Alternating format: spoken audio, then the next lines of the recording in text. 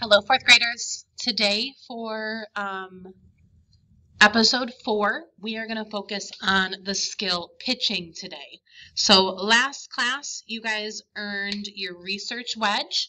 Um, you did some research on some different inventions like the light bulb and paper and the airplane.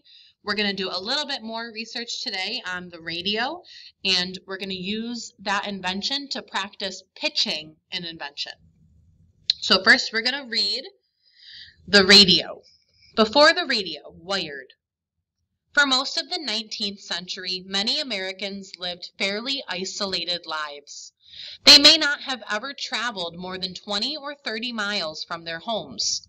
For entertainment, they visited with neighbors, played cards and games, and maybe danced, sang, and played music together. Concerts and the theater were mostly for those who lived in cities people didn't have much reason to communicate with those outside their communities, and when they did, it was by mail, which could take weeks or months to arrive.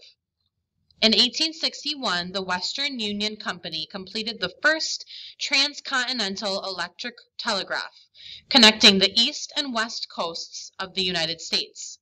The telegraph was a machine that sent coded messages over a wire in the form of electricity in a matter of minutes. A telegraph operator tapped out the message in code in one city, and then a second operator decoded and wrote down the message in another city. At the time, the telegraph was the fastest and most efficient means of communicating over long distances. But putting up the wires and making sure they stayed up was so expensive that telegraph companies did it only where there were significant populations. This left many Americans who lived far from big cities out of reach of the telegraph.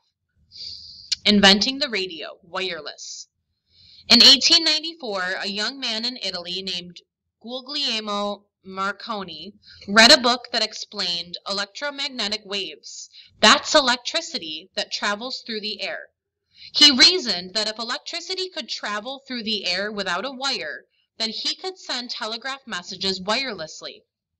He quickly got to work in his attic building a wireless transmitter to send messages, and a wireless receiver to receive messages. Soon Marconi was sending wireless signals across the room, and by 1895 he was sending them over a distance of a mile and a half. Marconi wrote to an Italian official asking the government for money to help him further develop his invention. The officials thought he was crazy, so Marconi moved to England, where he found people who believed in him.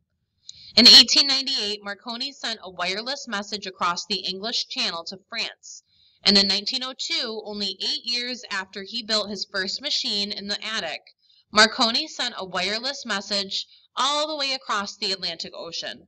Soon, scientists and business people realized that the future of Marconi's technology was in sending sound directly to receivers in people's homes. These receivers were called radios. How the radio changed things. Radio waves of the future. The first commercial radio station began broadcasting in 1920, and by 1930, long before televisions were available, radios were in 12 million American homes. Radio stations broadcast news, music, comedies, adventure shows, game shows, soap operas, talent contests, almost everything you can see on TV today. Lots of families gathered in the evenings to listen to the radio the same way many families now watch TV together. And along with the movies, the radio created national celebrities as many radio performers became superstars. Today, the electromagnetic waves that Marconi's first sent across his attic are also used for cell phones, GPS, radar, and TV, including Eureka, and even to control satellites in outer space. All right, so when we are pitching, here are Hetty's rules. So we need to be focused on our topic, be specific, be interesting, and we're going to speak by making eye contact, showing energy and passion, and watching our volume and speed. All right, so you're going to tell me what does the radio do? When was it invented? So that's a date how it was invented. So what were the steps? What did they have to invent before they can invent the radio. How did the radio improve life? There's actually a whole section right here, how the radio changed things. And number five, you're going to write your slogan. So a slogan is a catchy sentence that grabs your audience attention. And I gave you some examples here. So Apple has a slogan called Think Different. Dunkin' Donuts' slogan is America runs on Dunkin'. Um, I'm loving it. That's McDonald's. Just do it is Nike. So these are short sentences that grab the reader's attention. So you're going to do this for the radio. So think of a short slogan that you can have for the radio that would draw people in, make them wonder, hmm, I wonder what that is. I want to get myself one of those. Okay, now you're going to make a skit. So we have our slogan, you're going to make a skit, kind of like a commercial for your product. So you can choose one of these ideas. You can either show me how people lived before and after your invention was invented, or you can do a pretend interview with the inventor. So you're going to either make a skit showing how life was before the radio and how it is after the radio, or you're going to pretend to interview the inventor of the radio. So who are your characters? If you're doing a before and after, it might be a family, it might be a group of friends, it might be a class. If you're doing an interview, it's going to be you and the inventor.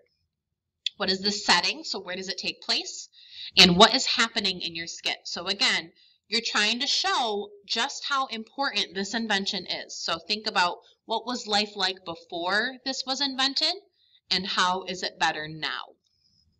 Okay, that is it for reading. We're going to go over to skills.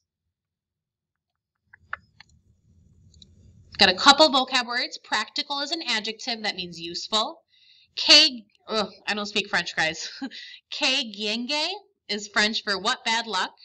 K merveille is French for how marvelous. A stylus is a pointed pen-shaped instrument used to make an imprint on a surface. So like if you have a little stylus for an iPad, it's like a little writing utensil for um, touchscreen. Très magnifique, I know that one. French for really wonderful. So we're going to read about Louis Braille, and you guys are going to answer those same uh, six questions. So you're going to tell me what is his name, when was he born, where was he born, what inventions did they create, a challenge or disappointment that the inventor faced, and then one interesting fact. So this is Louis Braille. Bonjour. Where to start? Well, I was born on January 4th, 1809 in Coupvray, France, a small town not too far from Paris. When I was a child, my favorite place to play was my father's workshop. Oh, it was très magnifique. He made saddles and harnesses for horses. I'll never forget the wonderful smells and sounds of the leather and the tools. But these simple joys would not last. The entire course of my life changed when I was only three years old. One day, when I was using some of my father's tools, I managed to poke myself in the eye. But this was not just any poke. Que gien! What bad luck! The eye became infected, and the infection spread to my other eye. By the age of five, I was completely blind. While it made learning more challenging, being blind didn't dampen my desire. As you, pro- as you probably hunger for chocolate or pizza, I hungered to read. Unfortunately, at that time, books for the blind to read by touch were scarce. They featured giant raised letters, but they were very heavy, difficult to produce, and not at all practical. Consequently, Almost everything I learned from books was read to me by my teachers at the school for the blind in Paris. Then, when I was 12, a French army captain named Charles Barbier visited my school. He told us about night writing, a communication system he'd invented for soldiers on the battlefield. Night writing was a complicated code of dots pressed into paper, and I do mean complicated. The system was so hard to learn that the army gave up on it. But it got me thinking. What if there was an alphabet for the blind that could easily be read but didn't have to be written in extra large letters? And what if blind people could also write in this alphabet without using big clunky machines? Transforming night writing into this new alphabet became my mission, and by age 15 I had done it. In my new system, each letter was represented by a simple arrangement of tiny raised dots. Just as I hoped, my invention allowed full-length books for the blind to be lighter and smaller, and so they were much easier to print. And even more importantly, my alphabet was very easy to read by touch, and also gave the blind a, special, a practical way to use to write using only a, a simple stylus. In the years that followed, I added to my invention so that blind people could read and write music and mathematical equations. The Braille alphabet caught on, and Braille books have been published all over the world. Que merveille! It is incredible. Don't you agree? All right, so you're going to answer those six questions about Louis Braille, and then that is all for today. Hope you have a great rest of your day, guys. Bye.